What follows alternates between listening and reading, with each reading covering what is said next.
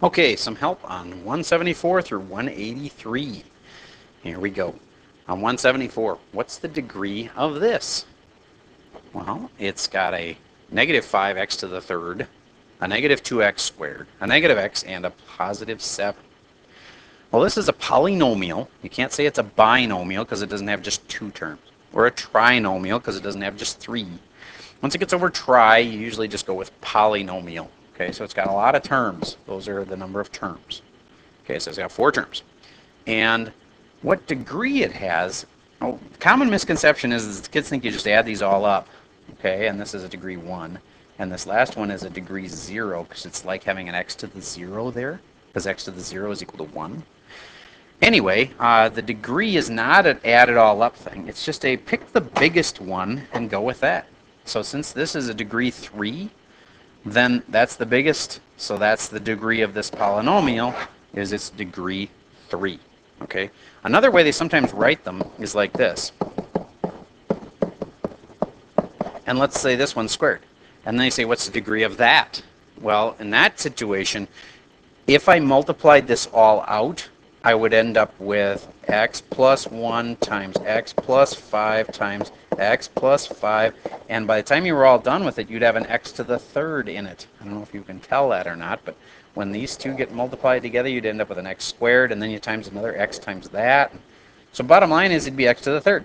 Well, you can tell that by here's a power and here's a power, and you can add them together only when it's written like that. Don't add them together when it's written in general form like this, or standard form. All right. So here's another one like I was just talking about there. What's the degree of this? This one, you can look at this degree and this degree and add them together and say this will be a degree 5. That's only because, again, if I multiplied this all out, x minus 3 squared is x minus 3 and x minus 3. And then x plus 1 cubed is x plus 1 and x plus 1 and x plus 1. And once I got done multiplying this all out, okay, I could even, I could start here and I'd have the x times the x would be an x squared. And then I'd times it by another x, would be x to the third, x to the fourth, and x to the fifth. You see how? I could just add these together and say it would be, there'd be an x to the fifth in this, and therefore it's a degree 5. Okay? So I like to think of these as multiply it all out and get it in general form, and then what will the degree be of the biggest thing? And it would be fifth degree if I had it multiplied out. All right, linear polynomials have what degree? Well, linear means that they're going to be straight. A straight line is linear. Okay, and those are the simplest ones we learned back in uh, middle school or elementary school where it was y equals x plus 2, for instance. And uh, anything that has a degree of 1 will be linear. Okay, so there's a little 1 there that, that we kind of ignored at the beginning when you were first learning x and y. But um, that degree of 1, first degree, is linear. Moving on, quadratic have what degree? Well, quadratic are the ones that look like this, x squared plus 2x plus 5, that kind of thing. And let's say it was sort of like this. It's a, it's a uh, parabola and the degree of a quadratic, it's always got an x squared in it, so therefore it's degree 2. And, and then the x squared term is always the biggest of the terms. All right, moving on. A cubic has what degree? Cubic is like y equals x to the third, okay? That's what cubic means. And so if it's a cubic polynomial, that means its biggest degree is a degree 3. All right, so x cubed plus 2x squared plus x plus 1 that would be a cubic, for instance, and its biggest degree is degree 3. All right. List the right end behavior of a graph for negative 5x squared minus x plus 7. The right end of that graph, I know, has to be heading downwards. No matter what it does in here, I don't even know what it does in there. I could figure it out, but all I know for sure is that if I look at the beginning and it has a negative there, then that tells me the end, the right hand end of the graph must be going down at the end. Okay? So the right end behavior is down. Okay? And that's because it's negative in front. So conversely, of course, if I had y equals positive 6x squared plus 2x minus 9 or whatever, and it leads with a positive number out front, then that means on the right hand side it must be going up at the end of the graph. No matter what it does in here, at the end on the right, it's going up. Okay, so it's all about that lead coefficient, whether it's positive or negative. If it's negative, it's going down. If it's positive, it's going up. All right, what's the left and right hand behavior of the graph of 2x to the third minus 2x squared minus x plus 7? All right, the right end behavior, oh no, left and right end behavior. The way you can tell that is by looking at the degree of the polynomial. This is a degree 3.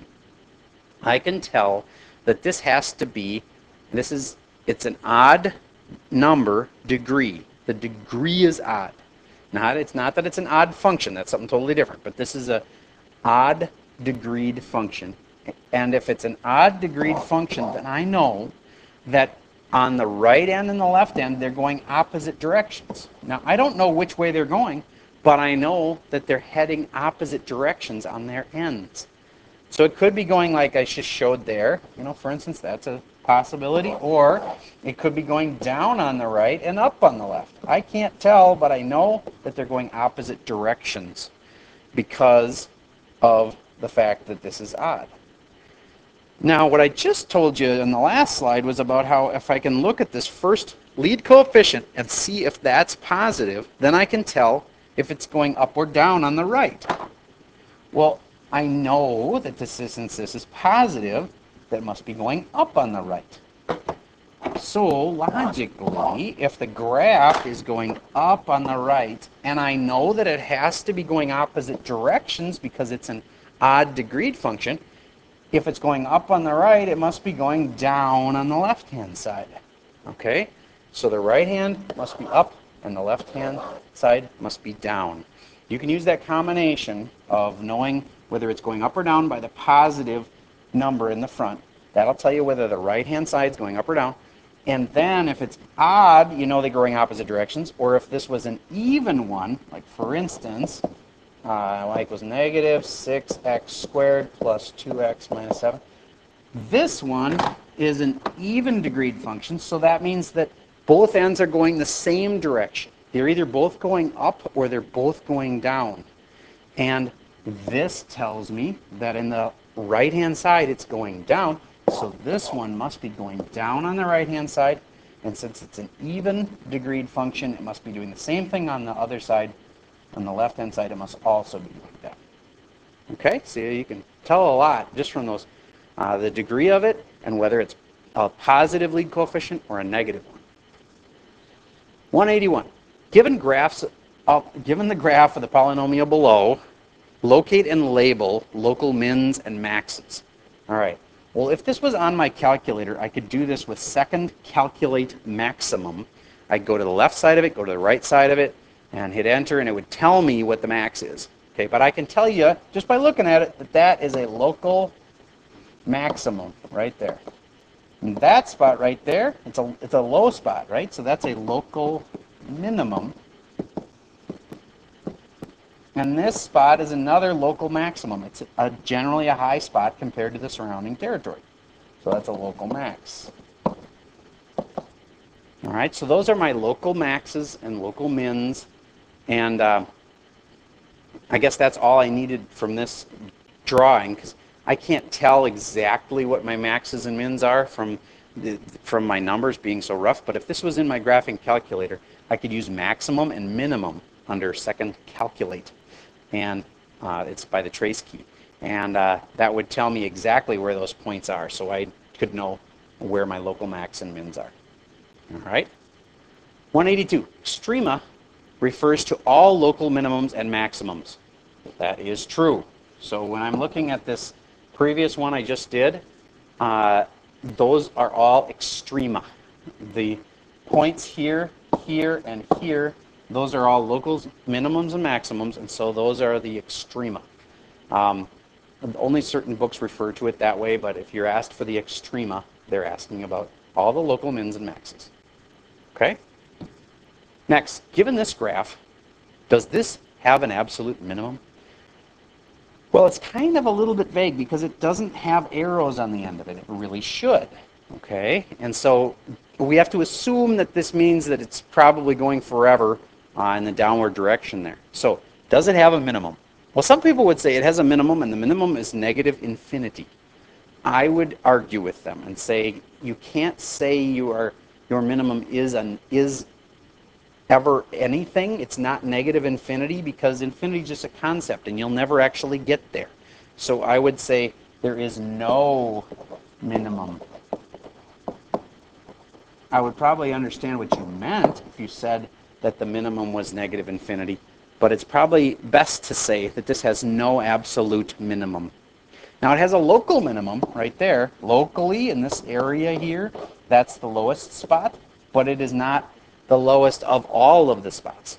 There is no absolute minimum because it keeps going forever. It never stops. All right? Okay. And that's all I have for you on this video.